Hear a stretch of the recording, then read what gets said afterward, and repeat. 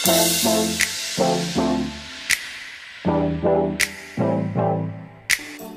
Exploration technologies corporation जिसे हम space x के नाम से जानते हैं, अब सेंटर ऑफ़ अट्रैक्शन बन गया है रॉकेट लवर्स के लिए। 2002 में इस कंपनी की बेस इलॉन मस्क ने रखी और 19 साल बाद स्पेस एक्स ने बहुत सारी ऊंचाइयाँ छूली है। स्पेस एक्स की दिलचस्प और मोटिवेशनल हिस्ट्री जानने के लिए इस वीडियो को एंड तक ज़रूर देखिए। स्पेस एक्स के एस्टेब्लिशमेंट से पहले 2001 में 30 साल एलॉन मस्क के पास एरोस्पेस इंडस्ट्री को रेवोल्यूशनाइज करने का एक अनोखा आइडिया था। उनका ये आइडिया एरोस्पेस फ्लाइट्स को अफोर्डेबल करने का था। Becoming a multiplanetary species can happen I think you know point which it becomes an exothermic reaction is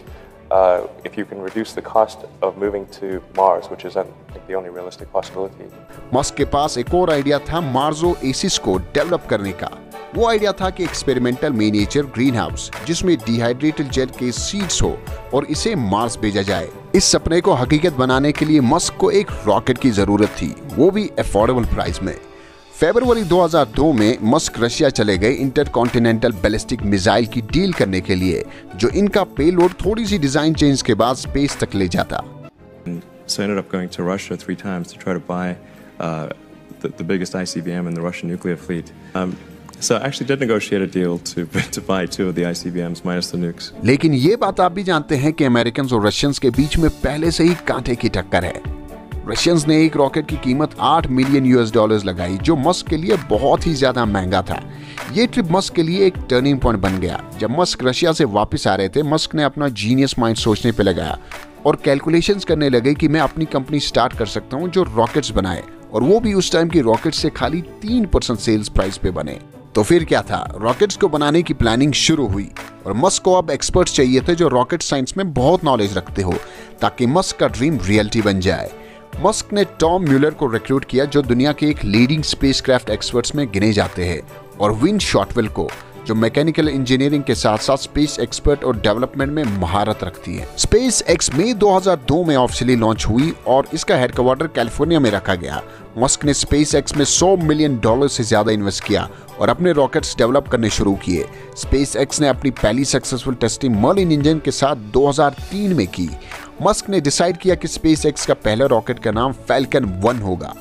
falcon one के पहले स्टेज में एक मोलिन इंजन था और कैस्ट्रोल इंजन सेकंड स्टेज में था दोनों स्टेज आरपी वन को एज अ फ्यूल यूज़ करते थे और ऑक्सीडाइजर के लिए लिक्विड ऑक्सीजन को यूज़ किया गया How much of your personal fortune have you poured into this?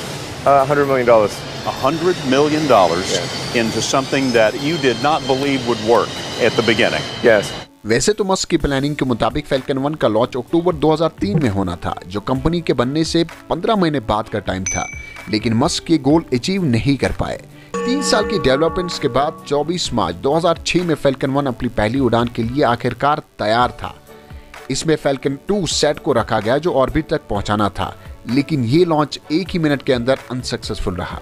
इसमें खराबी फ्यूल लाइन में लीक होने की वजह से हुई, जो कि आप इस वीडियो में भी देख सकते हैं।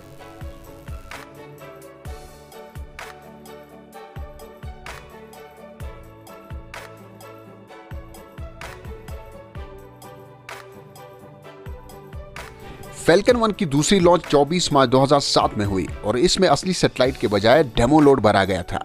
ये लॉन्च पहले अनसक्सेसफुल अटेम्प्ट से पूरे एक साल बाद हुई। इस बार पहला स्टेज एज एक्सपेक्टेड सही निकला, लेकिन स्टेजिंग के दौरान इंटर स्टेज फेयरिंग जो कि फ़र्स्ट स्टेज के टॉप पे होता है सेकेंड स्टेज के इंजन बेल पे टकरा गया। फिर भी फ़्लाइट चलती रही, लेकिन प्री मैच्योर इंजन शटडाउन की वजह से स्पेस उम्मीद वाले ऑर्बिट तक नहीं पहुँच पाया। फिर भी स्पेस ने इस फ़्लाइट को सक्सेसफुल माना। इस लॉन्च ने फैल्कन वन के सिस्टम को 95 परसेंट सही प्रूव किया। स्पेस एक्स ने फैल्कन वन की तीसरी लॉन्च 3 अगस्त 2008 में की, जिसमें यूएस एयरफोर्स का ट्रेल ब्लेजर सैटेलाइट के साथ साथ छोटे दो सैटेलाइट्स भी थे। इस बार स्टेज सेपरेशन एज प्लान हुई, लेकिन रेसिडुअल फ्यूल मर्लिन इंजन में इवापोरेट होना शुरू हुआ, जिससे मिशन सक्सेसफुल नहीं हो पाया। अपने पहले तीन स्पेस रॉकेट्स को खोने के बाद स्पेस एक्स बैंक्रप्सी पे पहुँच गया। अब बचे हुए पैसे से स्पेस एक्स ने 28 सितंबर 2008 को फोर्थ लॉन्च किया। फैल्कन वन मार्शल आइलैंड से 155 केजी के डेमो पेलोड के साथ लिफ्ट ऑफ़ हुआ और इस बार रॉकेट ने फिर से सेम ट्रेजेक्ट्री ली और सक्सेसफुली सैटेलाइट के ऑर्बिट में पहुँचाया इस रात स्पेस एक्स ने एक बात दुनिया को दिखाई कि फेलियर तो सक्सेस की पहली सीढ़ी होती है स्पेस एक्स की मोटिवेशन की तारीफ़ में कमेंट सेक्शन में ज़रूर कीजिएगा you had that third failure in a row, did you think, I need to pack this in? Never. Why not? I don't ever give up. I mean, I'd have to be dead or completely incapacitated. But, when um, critics say you can't do this, your answer to them is, We've done it. इस कारनामे के साथ space x ऐसी पहली company बनी जिसने rockets को privately develop किया और ऑर्बिट तक पहुँचाया इस सक्सेसफुल फैल्कन वन लॉन्च की वजह से स्पेस एक्स को नासा की तरफ़ से 1.6 बिलियन डॉलर्स का कॉन्ट्रैक्ट मिला इस कॉन्ट्रैक्ट के मुताबिक स्पेस एक्स को इंटरनेशनल स्पेस स्टेशन तक कार्गो पहुंचाना था वो भी 12 फ़्लाइट से स्पेस एक्स ने अब अगले स्पेस लॉन्च व्हीकल फेल्कन 9 के लिए तेज़ी से डेवलपमेंट शुरू की।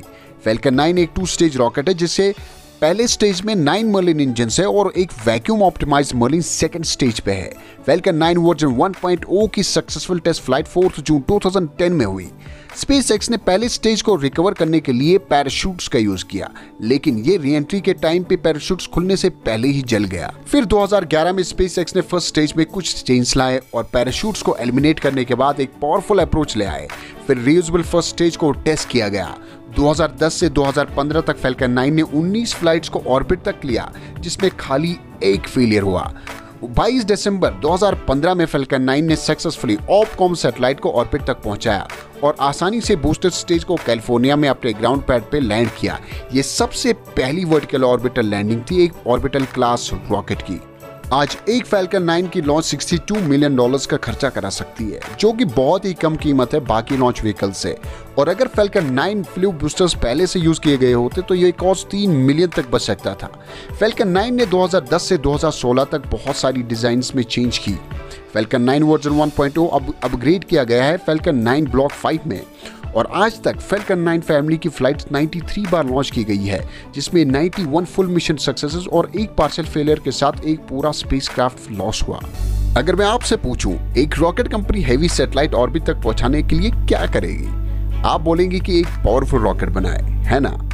लेकिन स्पेस एक स्टेप आगे गई और तीन फेल्कन 9 रॉकेट्स को आपस में कनेक्ट किया और इसका नाम रखा गया फेल्कन हैवी स्पेस ने फेल्कन हैवी की पहली फ़्लाइट 6 फरवरी 2018 में की और इसमें टेस्ला रोडस्टर को एज अ पेलोड रखा गया, जिसमें एक डमी स्टार बैठा था और इसे हीलियोसेंट्रिक ऑर्बिट भेजा गया, जो कि सूरज के अराउंड होता है। फेल्कन हैवी के दो booster stage successfully ground pads पे लैंड हुए, लेकिन कोर स्टेज ड्रोन शिप पे लैंड नहीं हो पाया।